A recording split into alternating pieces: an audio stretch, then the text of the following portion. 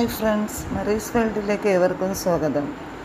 നമ്മൾ logos kiss രണ്ടായിരത്തി ഇരുപതിലെ പാഠഭാഗങ്ങൾ ഉൾക്കൊള്ളിച്ചുകൊണ്ടുള്ള ചോദ്യോത്തരങ്ങളാണ് പഠിച്ചുകൊണ്ടിരിക്കുന്നത്. അപ്പം നമ്മൾ മാർക്കോസിന്റെ സുവിശേഷവും പ്രഭാഷകന്റെ പുസ്തകവും വിശുദ്ധ പൗലോസ് അപ്പോസ്തലൻ കൂറന്തോസാർക്ക് എഴുതിയ ലേഖനത്തിൽ നിന്നുള്ള അധ്യായങ്ങൾ നമ്മൾ പഠിച്ചു കഴിഞ്ഞ്.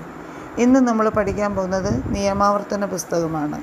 നമ്മുടെ പരീക്ഷയുടെ പാഠഭാഗം നിയമാവർത്തന പുസ്തകം ഇരുപത്തിരണ്ട് മുതൽ മുപ്പത്തിനാല് വരെയുള്ള അധ്യായങ്ങളാണ് നമുക്ക് പഠിക്കാനുള്ളത്. ഇന്ന് നമ്മൾ പഠിക്കുന്നത് ഇരുപത്തിരണ്ടാമത്തെ അധ്യായമാണ്. ഇരുപത്തിരണ്ടാമത്തെ അധ്യായത്തിൽ മുപ്പത് വാക്യങ്ങൾ ഉള്ളതുകൊണ്ടും അവ കുറച്ച് കൺഫ്യൂസ്ഡ് ആയതുകൊണ്ടും നമ്മൾ ഇന്ന് പകുതി മാത്രമേ ചോദ്യോത്തരങ്ങളായിട്ട് പഠിക്കുന്നുള്ളൂ. രണ്ട് ഭാഗങ്ങളായിട്ട് നമുക്ക് പഠിക്കാം. അപ്പം ഞാൻ ഇന്ന് ഒന്ന് മുതൽ പതിമൂന്ന് വരെയുള്ള വാക്യങ്ങളുടെ ചോദ്യോത്തരങ്ങൾ മാത്രമേ ഇന്ന് വീഡിയോ ആയിട്ട് ഇടുന്നുള്ളൂ. അടുത്ത ഭാഗം നാളെ. അല്ലെങ്കിൽ പഠിക്കുമ്പോഴത്തേക്ക് കുറേ കൺഫ്യൂഷൻ ഉണ്ടാവും. നന്നായിട്ട് വായിച്ചതിന് ശേഷം രണ്ട് മൂന്ന് ആവർത്തി വായിച്ചതിന് ശേഷം പഠിച്ചു കഴിഞ്ഞാൽ നമുക്ക് നന്നായിട്ട് ഓർത്തിരിക്കാൻ പറ്റും. അപ്പോൾ ഇനി വളരെ കുറച്ച് ദിവസം ഏകദേശം ഒരു തൊണ്ണൂറ്റഞ്ച് ദിവസം എങ്ങാണ്ടേ ഉള്ളൂ ഇനി പരീക്ഷയ്ക്ക്. അപ്പോൾ നമുക്കിത് പെട്ടെന്ന് തന്നെ പഠിച്ചു കഴിഞ്ഞിട്ട് ഓരോ പാഠഭാഗങ്ങളുടെയും മോഡൽ ക്വസ്റ്റ്യൻസ് പോലെ തയ്യാറാക്കി നമുക്കിങ്ങനെ റിവൈസ് ചെയ്തുകൊണ്ട് ഇരിക്കാം. അപ്പോൾ അതിന് വേണ്ടിയിട്ട് നമുക്ക് തയ്യാറെടുക്കാം. അപ്പോൾ അതുകൊണ്ട് നിങ്ങൾ ഈ പഠിക്കുന്നതെല്ലാം നന്നായിട്ട് ഹൃദയസ്ഥമാക്കി ബൈബിൾ നന്നായിട്ട് വായിച്ചതിന് ശേഷം പഠിക്കുക. അപ്പം നമുക്കിന്ന് നിയമാവർത്തന പുസ്തകം ഇരുപത്തിരണ്ടാം അധ്യായത്തിന്റെ ആദ്യത്തെ പാർട്ട് പഠിക്കാം. ഒന്നാമത്തെ ചോദ്യം ഇരുപത്തിരണ്ടാം അധ്യായത്തിൽ ആകെ എത്ര വാക്യങ്ങളുണ്ട്? ഉത്തരം മുപ്പത് വാക്യങ്ങൾ. രണ്ടാമത്തെ ചോദ്യം ഇരുപത്തിരണ്ടാം അധ്യായത്തിന്റെ ആദ്യത്തെ ഹെഡിങ് അല്ലെങ്കിൽ ഒന്ന് മുതൽ പന്ത്രണ്ട് വരെയുള്ള വാക്യങ്ങളുടെ ഹെഡിങ് അല്ലെങ്കിൽ തലക്കെട്ട് എന്താണ്? ഉത്തരം വിവിധ നിയമങ്ങൾ. മൂന്നാമത്തെ ചോദ്യം ആരുടെ കാളയോ ആടോ വഴിതെറ്റി അലയുന്നത് കണ്ടാൽ കണ്ടില്ലെന്ന് നടിച്ച് കടന്നു പോകരുതെന്നാണ് പറയുന്നത്. ഉത്തരം നിന്റെ സഹോദരന്റെ. ഈ ചോദ്യം തന്നെ വേറൊരു രീതിയിലും ചോദിക്കാം.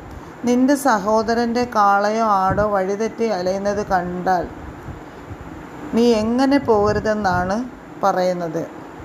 ഉത്തരം കണ്ടില്ലെന്ന് നടിച്ചു പോകരുതെന്ന്. അടുത്ത ചോദ്യം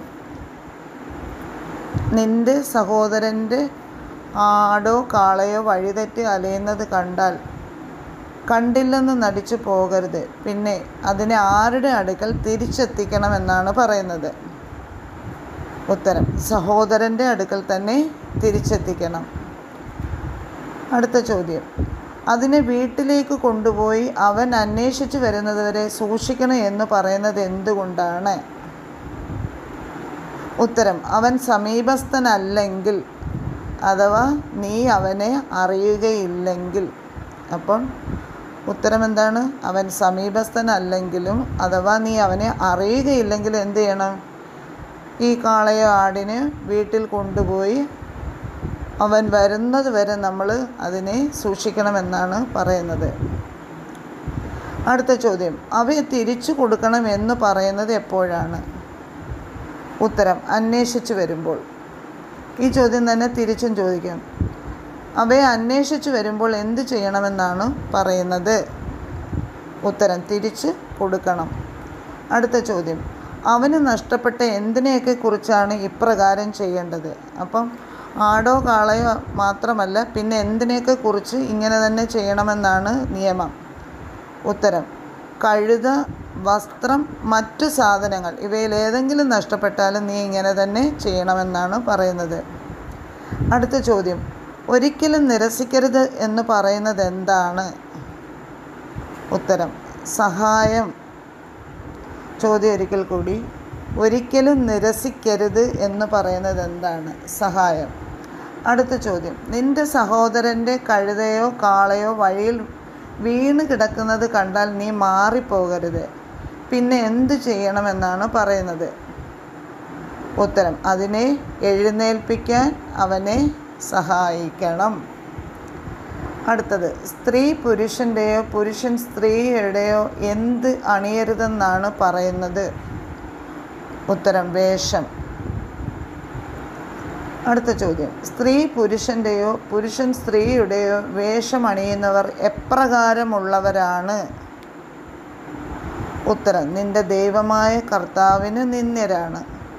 ഈ ചോദ്യം തന്നെ വേറൊരു രീതിയിലൂടെ ചോദിച്ചു കഴിഞ്ഞാൽ ദൈവമായ കർത്താവിന് നിന്ദ്യരായിട്ടുള്ളവരാരാണ് ഉത്തരം. സ്ത്രീ പുരുഷന്റെയോ പുരുഷൻ സ്ത്രീയുടെയോ വേഷമണിയുന്നവർ അടുത്ത ക്വസ്റ്റ്യൻ കുഞ്ഞുങ്ങളുടെയോ മുട്ടകളുടെയോ മേൽ തള്ളപ്പക്ഷി അടയിരിക്കുന്ന ഒരു പക്ഷിക്കൂട് വഴിയരികിലുള്ള ഏതെങ്കിലും വൃക്ഷത്തിലോ നിലത്തോ കാണാനിടയായാൽ എന്ത് ചെയ്യണമെന്നാണ് പറയുന്നത്? ഉത്തരം കുഞ്ഞുങ്ങളോടുകൂടെ തള്ളയെ എടുക്കരുത്. ചോദ്യം ഒരിക്കൽ കൂടി. കുഞ്ഞുങ്ങളുടെയോ മുട്ടകളുടെ മേൽ തള്ളപ്പക്ഷി അടയിരിക്കുന്ന ഒരു പക്ഷിക്കൂട്. വഴിയരികിലുള്ള ഏതെങ്കിലും വൃക്ഷത്തിലോ നിലത്തോ കാണാനിടയായാൽ എന്ത് ചെയ്യണമെന്നാണ് പറയുന്നത്? ഉത്തരം കുഞ്ഞുങ്ങളോടുകൂടെ തള്ളപ്പക്ഷിയെ എടുക്കരുത്. അടുത്ത ചോദ്യം. എപ്പോഴാണ് കുഞ്ഞുങ്ങളെ എടുക്കാം എന്ന് പറയുന്നത്? ഉത്തരം. തള്ളപ്പക്ഷി പറന്നു പോയതിന് ശേഷം. ഈ ചോദ്യം വേറൊരു രീതിയിൽ ചോദിച്ചു കഴിഞ്ഞാൽ തള്ളപ്പക്ഷി പറന്നു പോയതിന് ശേഷം നമ്മൾക്ക് എന്ത് ചെയ്യാമെന്നാണ് പറയുന്നത്? കുഞ്ഞുങ്ങളെ എടുക്കാം എന്നാണ് പറയുന്നത്. അടുത്ത ചോദ്യം. എന്തിനു വേണ്ടിയുള്ളതാണ് ഈ കൽപ്പനകൾ? ഉത്തരം. നിനക്ക് നന്മയുണ്ടാകുന്നതിനും നീ ദീർഘനാൾ ജീവിക്കുന്നതിനും വേണ്ടിയാണ്. ഈ ചോദ്യം തന്നെ തിരിച്ചു ചോദിക്കാം. നിനക്ക് നന്മയുണ്ടാകുന്നതിന് നീ ദീർഘനാൾ ജീവിക്കുന്നതിനും വേണ്ടി എന്താണ് പറയുന്നത്? അപ്പം ഈ കൽപ്പനകൾ പാലിക്കണമെന്നാണ് പറയുന്നത്. അടുത്ത ചോദ്യം. നീ വീട് പണിയുമ്പോൾ എന്ത് ചെയ്യണമെന്നാണ് പറയുന്നത്? ഉത്തരം. പുരമുകളിൽ ചുറ്റും അരമതിൽ കെട്ടണം. അടുത്ത ചോദ്യം. വീട് പണിയുമ്പോൾ ചുറ്റും അരമതിൽ കെട്ടണം എന്ന് പറയുന്നത് എന്തുകൊണ്ടാണ്? ഉത്തരം. അല്ലെങ്കിൽ ആരെങ്കിലും താഴേക്ക് വീണ് രക്തം ചിന്തിയ കുറ്റം നിന്റെ ഭവനത്തിൽ മേൽ പതിച്ചേക്കാം. ചോദ്യം ഒരിക്കൽ കൂടി. വീട് പണിയുമ്പോൾ അതിന് ചുറ്റും അരമതിൽ കെട്ടണം എന്ന് പറയുന്നത് എന്തുകൊണ്ടാണ്? ഉത്തരം. അല്ലെങ്കിൽ ആരെങ്കിലും താഴേക്ക് വീണ് രക്തം ചിന്തിയ കുറ്റം നിന്റെ ഭവനത്തിന്മേൽ പതിച്ചേക്കാം. അടുത്ത ചോദ്യം. എവിടെയാണ് മറ്റു വിത്തുകൾ വിതയ്ക്കരുതെന്ന് പറയുന്നത്? ഉത്തരം മുന്തിരിത്തോട്ടത്തിൽ. അടുത്ത ക്വസ്റ്റ്യൻ മുന്തിരിത്തോട്ടത്തിൽ മറ്റു വിത്തുകൾ വിതച്ചാൽ എന്ത് സംഭവിക്കും? ഉത്തരം വിള മുഴുവൻ അതായത് നീ വിതച്ചതും മുന്തിരിയുടെ ഫലവും ദേവാലയത്തിലേക്ക് കണ്ടു കെട്ടും. ചോദ്യം ഒരിക്കൽ കൂടി. മുന്തിരിത്തോട്ടത്തിൽ മറ്റു വിത്തുകൾ വിതച്ചാൽ എന്ത് സംഭവിക്കും? വിള മുഴുവൻ. നീ വിതച്ചതും മുന്തിരിയുടെ ഫലവും ദേവാലയത്തിലേക്ക് കണ്ടു കെട്ടും. അടുത്ത ചോദ്യം. ഒരുമിച്ച് പൂട്ടി ഉഴരുത് എന്ന് പറയുന്നത് എന്തിനൊക്കെയാണ്? ഉത്തരം കാളയെയും കഴുതയെയും. ഒരിക്കൽ കൂട്ടി. ഒരുമിച്ച് പൂട്ടി ഉഴരുത് എന്ന് പറയുന്നത് എന്തിനെയൊക്കെയാണ്? ഉത്തരം കാളയെയും കഴുതയെയും. അടുത്ത ചോദ്യം ഏത് വസ്ത്രമാണ് ധരിക്കരുത് എന്ന് പറയുന്നത്? ഉത്തരം രോമവും ചണവും ചേർത്ത് നെയ്ത വസ്ത്രം. അടുത്ത ക്വസ്റ്റ്യൻ നിന്റെ മേലങ്കിയുടെ നാലറ്റത്തും എന്തുണ്ടായിരിക്കണമെന്നാണ് പറയുന്നത്? ഉത്തരം തൊങ്ങലുകൾ. തിരിച്ചും ചോദിക്കാം. തൊങ്ങലുകൾ ഉണ്ടായിരിക്കണം എന്ന് പറയുന്നത് എവിടെയാണ്? നിന്റെ മേലങ്കിയുടെ നാലറ്റത്തും. അപ്പോൾ ഇത്രയും ചോദ്യങ്ങളാണ് നമ്മൾ ഇരുപത്തിരണ്ടാം അധ്യായത്തിലെ ഒന്ന് മുതൽ പതിമൂന്ന് വരെയുള്ള വാക്യങ്ങളിൽ നിന്നുള്ള ചോദ്യങ്ങൾ.